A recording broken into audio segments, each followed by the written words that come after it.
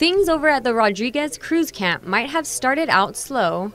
Supporters both inside and outside the headquarters watched closely for the numbers to come in from Election Central. This has been a really humble campaign, and we've worked off of almost nothing, but the people who had given the little that they had, um, it, it really means so much. I think that that's the most important part of today, is watching the Democrats come out, because after today, everybody gets to march forward as one camp. But once the results started rolling in, things took an unexpected turn.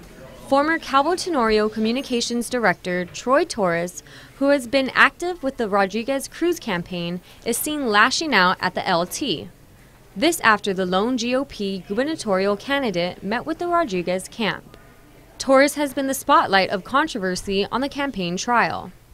Tenorio's visit was an apparent show of support for the Democrat team, whose results weren't looking to be so much in their favor. Both Rodriguez and Tenorio were quick to brush off the incident and had no further comments regarding the quick altercation. With the night going into the early hours of the morning, Rodriguez decided to break down camp to let his supporters get some rest. Well, of course, you know, we want to thank the people of Guam.